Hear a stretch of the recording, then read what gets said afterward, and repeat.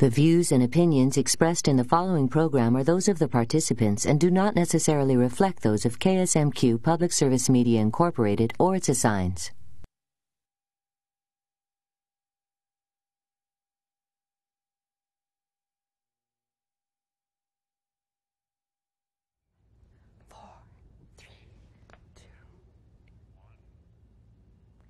Welcome to Health Connections. Tonight we will be discussing chiropractic treatment for migraines, lower back pain, pediatric care, and other afflictions. Stay tuned. You're watching Health Connections.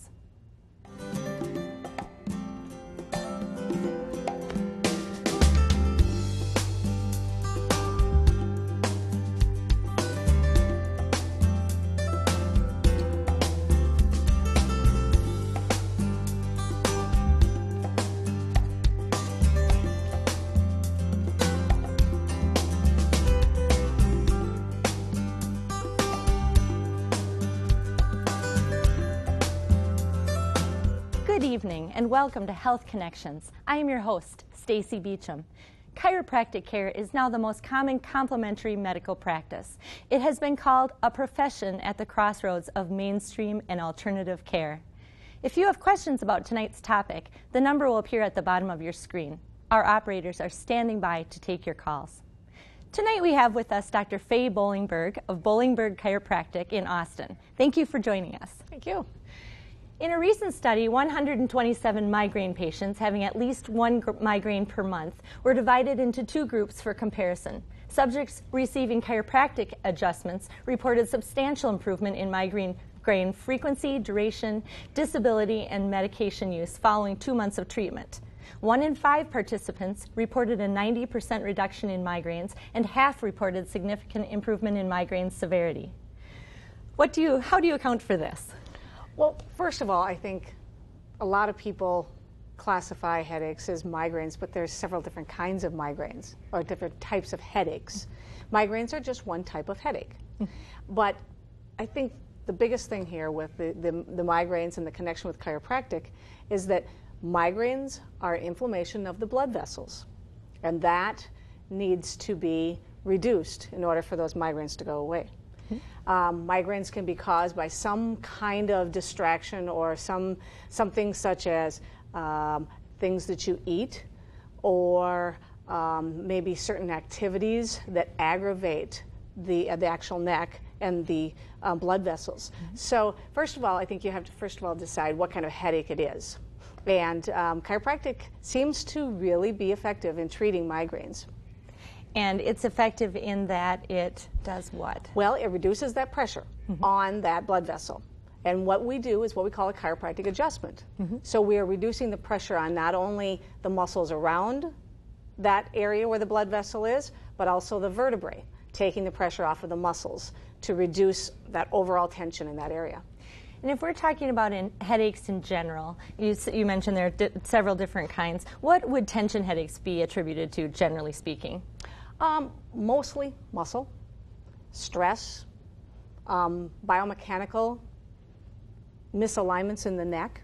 Those are probably the top three for, for tension headaches. Stress is a big one. Okay. And teeth grinding or lockjaw, what about those? Well, the whole TMJ issue, I think there's a connection there because, first of all, that can be caused by stress and tension. Okay. And when you have that tension in your jaw, just in general, that whole tension can distribute itself back into the neck and vice versa.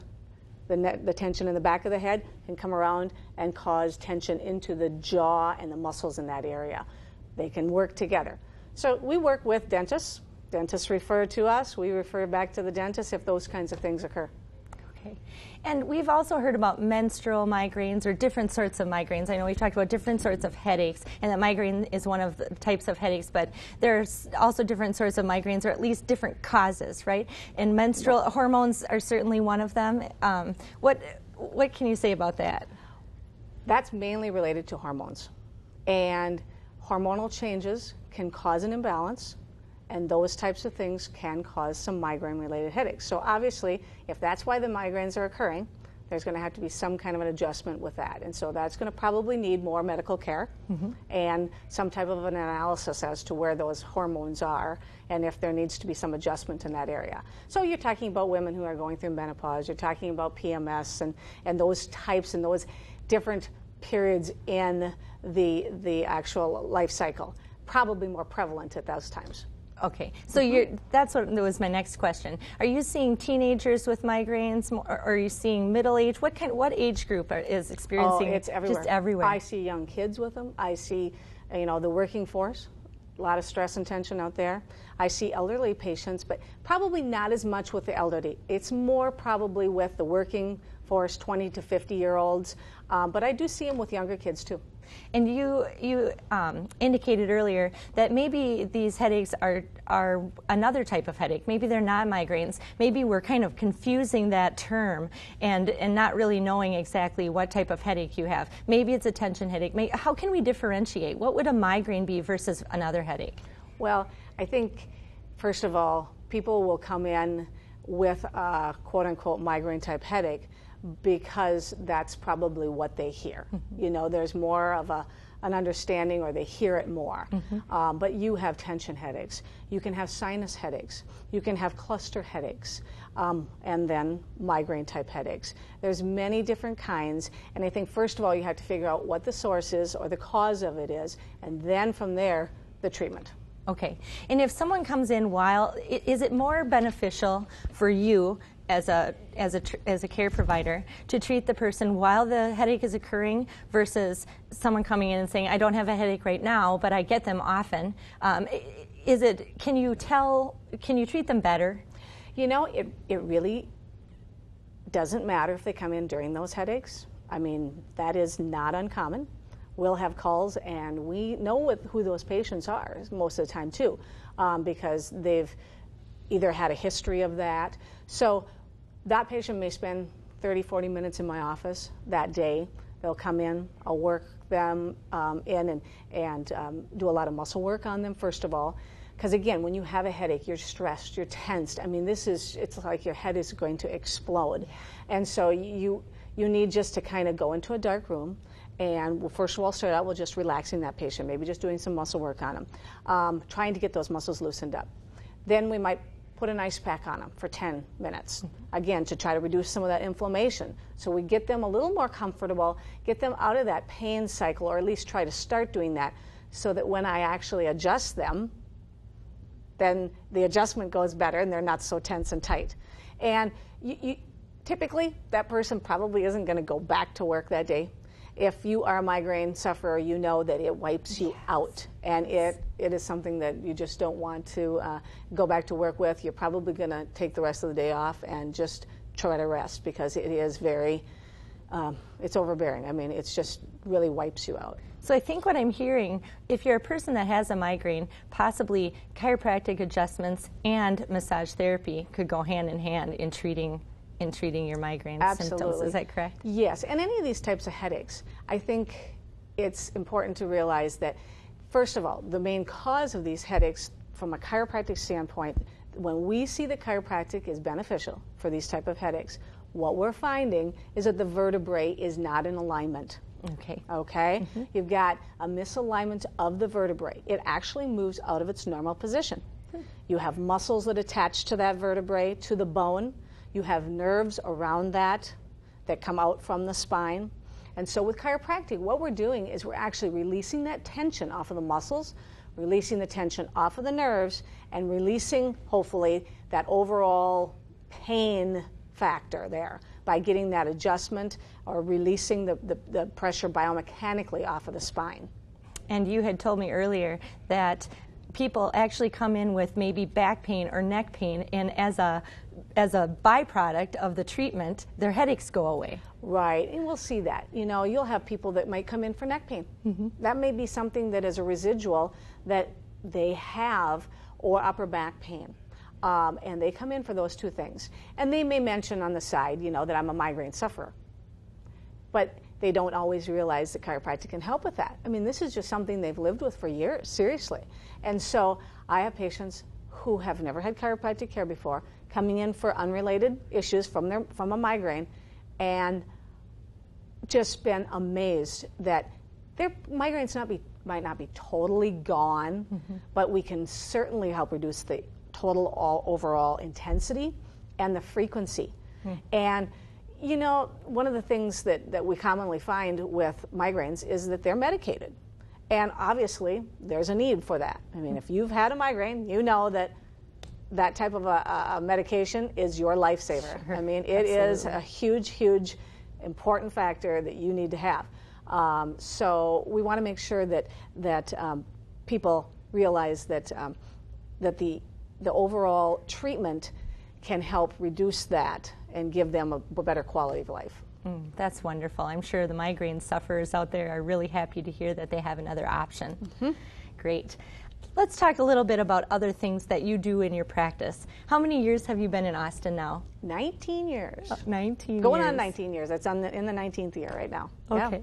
Yeah. And from the time you started here or started your chiropractic profession, um, your career, till now, have you seen a difference in the patients, the demographic? Um, are you seeing more of one age group or less? Are you seeing are you seeing symptoms or ailments that you hadn't seen before? Has that changed over those nearly 20 years? You know, one of the things that's unique, I think, about Austin is that it's an older community. Mm-hmm. So I see a lot of geriatric patients. Okay. And um, so you're dealing with a lot of chronic conditions. Okay. Um, that's that's a pretty high percentage. Um, but also, I have noticed lately, probably within the last 10 years, that there is an age group of about 30 to 45 that truly values their wellness and their health care. Mm-hmm. And they know that the quality of life is more valuable to them than anything else. And they realize that they want to feel good and they want to continue to feel good. And so they, I think that group of people have really focused on um, alternative health care. Um, they've focused on just general health. You know, I think they're eating better. I think generally they're exercising more.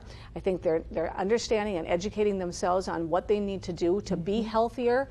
Um, and hopefully that's getting passed down to their kids too, so that there's another generation. But um, that's probably one of the things that's exciting to see because you are seeing a lot of those professionals that are valuing that and they're coming in not necessarily always because they're in pain, but they know they want to feel better. And chiropractic is one of those um, occupations and one of those uh, areas that it's becoming, I think, more accepted. You know, we see it more accepted with just a general population. Mm-hmm. People are, are uh, it's not that we're quacks anymore. You know, I'm not hearing that as much. Right. No, I agree. when I first started out in practice, I, I would have to say that, you know, there was some real hesitation. Mm-hmm. People questioned what we did. And, um, but I will say this community has been wonderful with working together. I mean, I mentioned earlier, you know, we work with the dentists, with mm-hmm. TMJ. Um, we work with the medical profession. Um, Austin Medical Center has been wonderful. I mean, if I need an MRI, boom, I send a patient off for an MRI, and there is no hassles. It's just, and that's not always the way it is with all um, it's great when you can perform or form that sort of partnership. Yes, yes, and, and you know we've um, got a good um, relationship with the other chiropractors in town too. But we're working with other healthcare professionals. Sure. Acupuncture is another really good one. You know that um, uh, if if a patient uh, needs some other kind of um, uh, something additional to what we're doing, so we're we're working with all different areas, and I think That's that great. is something that that general population is seeing too. So chiropractic is just one of those things that that um, seems to be moving up. And certainly, health care providers, including chiropractors, must be doing a good job of educating people as to how to improve their overall health and wellness for them to come in and seek this on their own without injuries, injuries or something else stimulating that visit. Right. Well, That's I wonderful. in general, patients really want to try to get away from medicating themselves and having to get to a point where they have to be surgical. Right. So, and I think we're all aware that chronic pain is a big deal, yep. and we want to prevent prevent that, mm-hmm. and so that we are never a chronic pain sufferer. And you know, I think a, a good point to that is that I see younger kids. You know, I see babies. I see little kids, and sometimes it'll be funny. I'll have patients come in and they'll say, did you see that little baby? Is that, or did you see the mom? You know, they'll want to know, are you really actually adjusting that little baby?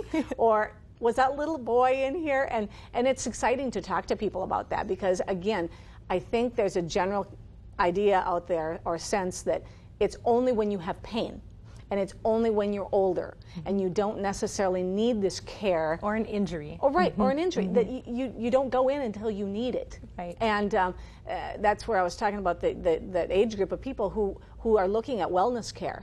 And you're talking to them about their their kids or they mention a, a, comment about their kids maybe having a pain or an ache here or there and i'll say you know what why don't you bring them in?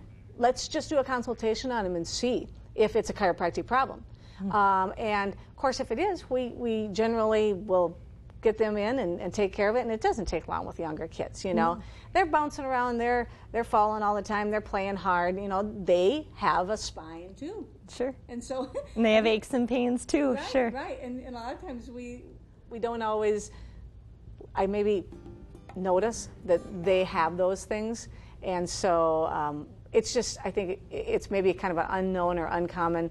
Um, uh, perception that we don't necessarily treat the younger people too, but Right. we treat all ages from my kids didn't get out of the hospital without an adjustment. Okay, You that's know? interesting. You know? So prevention as well as ailments you'll treat in children. Mm-hmm. We'll be right back to talk about that after the break.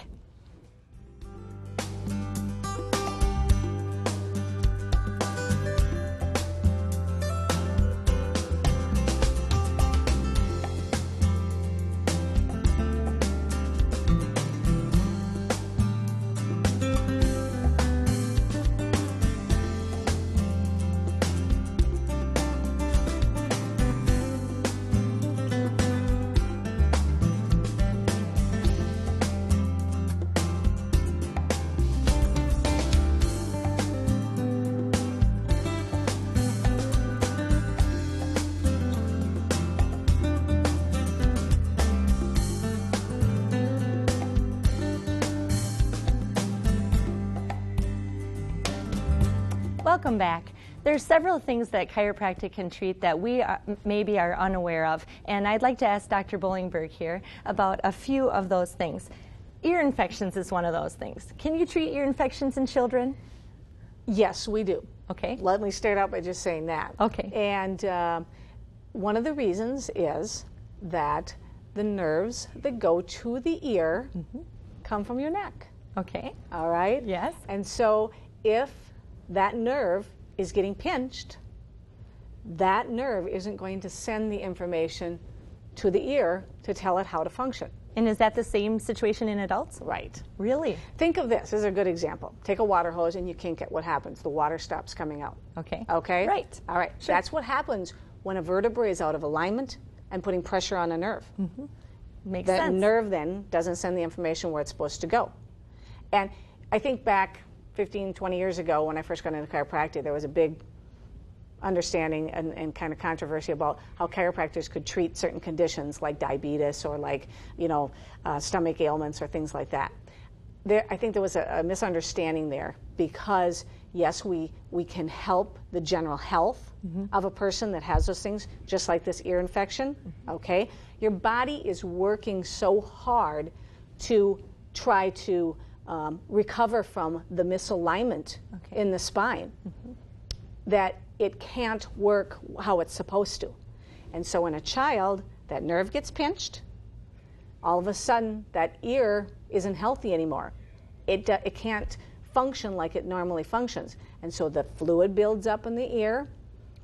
Maybe it's just that the child has pain from that misalignment and their ears hurting because of that too. And is it possible that babies at birth even are are you know jarred in such a way that they're going to be prone to to ear infections or other sorts of misalignment? Absolutely. Okay. And and that's one of the first questions I ask the mother when they bring in their child is, tell me about the birth. Because uh, I myself have had three C sections, and I know that they just didn't go and pick my baby out. right. you know, Right. there, there there was some stress involved there, and there was some trauma to that baby. Sure. Some babies need vacuum extraction. Some babies need forceps. Some babies they have to pull to, to pull out. So those kinds of, of procedures, not wrong, but are traumatic. And those things can certainly cause trauma to the spine. Just as if you'd Makes fallen sense. down on the floor. Makes sense. Mm-hmm. Let's go to the other end of the spectrum and talk about your elderly patients that Mm-hmm. we referred to earlier. I just had a couple of questions about osteoporosis. Osteoporosis being the crooked spine, maybe you have you could show us exactly what osteoporosis does, but certainly the muscles around the spine are affected by it in an uneven pattern. Can you ease the muscle pain that comes with osteoporosis by chiropractic adjustment or massage therapy or both? What do you recommend for your osteoporotic patients? Okay. Well, osteoporosis, first of all, is a weakening in the actual bone structure. Okay. So, where's, what we're talking about is the matrix of that bone isn't healthy anymore, Okay. and it will actually collapse. All right. So you may not have any trauma involved. Uh, I can't tell you the number of patients that have come in that said all I did was reached into the refrigerator to grab a jug of milk, and I felt this severe pain, or I bent over, or I picked up a pencil. Doesn't have to be traumatic. What ha- the, the important part is that the bone isn't healthy. So then the question is, Let's grab one of these. what what then can you do? Okay. All right. What can I do as a chiropractor? I'm not going to adjust that person forcefully. Actually, if they have a compression fracture from osteoporosis or if their bone structure is weakened mm-hmm. because of osteoporosis, we're going to be very gentle with that patient, okay? Um, and we can see that on the x rays. When we take the x rays, we can see that there's a, a tendency towards that. So we're going to be very gentle with them. But I think your question, too, is what other things can we do for that patient? Are there muscles involved? Absolutely. Again, if there is a compression fracture, if that vertebrae collapses, if their posture starts to change because of that bony structure weakening, now you're going to end up with a lot of muscle soreness. So maybe massage therapy would be beneficial, very gentle massage therapy. Um, I have found with elderly patients, probably the most important thing that we can do for them is mobilizing their spine. What does that mean? It means just keeping the joints moving. Okay. All right? We don't have to go in there and adjust them like a 20 year old to, to move that vertebrae back and forth. They need some just gentle mobilization to keep that spine moving and keep it functioning as the best that it can. Mm-hmm. At this That point. makes sense mm-hmm. because everything tightens up as we get older and gets less elastic. Is that mm-hmm. true? Right. One of the other things too, I think with osteoporosis, two more very very important things. They'll, they will come in to me not necessarily for pain from osteoporosis, but maybe to talk to me about what are some things they can do to help prevent it or keep it from getting worse. Um, certainly, nutrition is a huge part to that. You know, you want to make sure that they have calcium mm-hmm. and the magnesium and the vitamin D, those types of things that'll help maintain the healthy bone structure. Mm-hmm. Other thing is exercise, weight bearing activities. Get out, walk. You know, And this is simple. true for any of your patients Sure. with lower back pain or anything, Sure. right? To, Yep. A healthy body is going to react better Yep. to injury, or is that correct? And maybe heal a little faster. And so, what would you recommend for your lower back pain patients? I know that's a biggie, isn't it? That's Low back pain is the number one of the number one, if it's not the number one, health care concern as far as cost. It, it- because of it being so prevalent. Sure, I and see that. so, what are some things you can do? Well, you know, people don't always want to hear this, but there may be a weight issue. There, you know, a lot of pressure on the spine. That's going to traumatize that spine and the muscles. It's going to weaken it. Um, their job may be their primary factor. Repetitive type activity, lifting activity. Do we need to talk about certain stretches with that patient? Do we need to show them how to lift properly?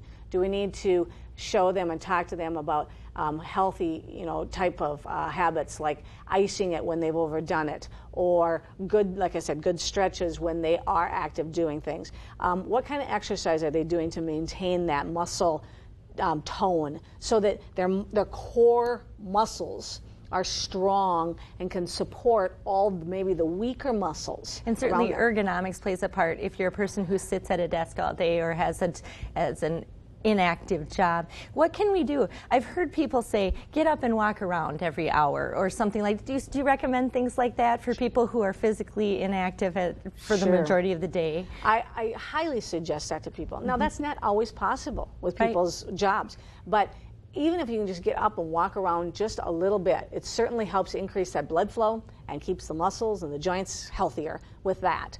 Um, posture, you mentioned ergonomics. I could tell you story after story of patients that come in that we've, you know, don't quite understand what the, the trauma was or what the incident was that caused their pain. And you kind of do your little investigating and play your little uh, detective work and try to figure out, you know, okay, it wasn't any specific incident, but what was it that caused it? And you start talking about their ergonomics of their workstation. And, you know, there are people that will go out and check that. And a lot of companies have them right there. Yes. You know, just ask for that.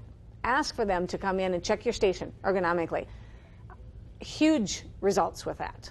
Interesting. Yeah. That's something I think very few people are aware of. An example, and I think this is a really good example. A patient came in, normal patient, usually comes in about once every month or two months just for maintenance care mm-hmm. because this this particular man is at a desk all day long.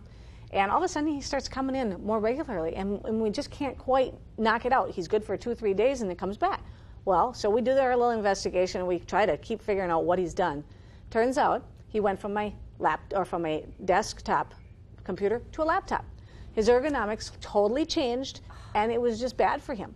Another really good one is bifocals. Oh. People don't oh. realize that. But how many of the elderly now are on computers? And they're, they're looking at that screen like this. And their whole posture changes. And all of a sudden, now they start getting more tension in their upper back, tension in their neck, or even the chair. Makes sense. So, ergonomics is a big issue. Makes sense. We have just about a minute left here, but I wanted to ask you about tendonitis.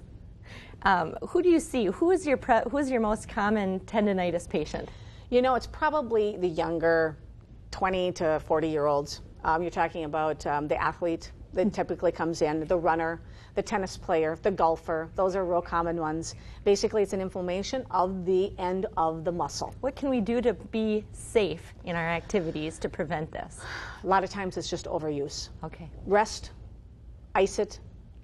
If it keeps continuing to give you problems, a little therapy like ultrasound and some muscle stim is very, very easy. If that doesn't work, we'll brace it. Try to keep them from, again, aggravating it. If that doesn't work, then it's usually after the orthopedic, maybe an injection, maybe some other type of treatment, mm, you know, an anti inflammatory, ibuprofen, or something like that, simple to get rid of the inflammation. Thank you. And thank you for joining us this evening. It's very interesting. Thank you for joining us. Next week, we will be talking about more health issues. Please join us on Health Connections. Thank you and good night.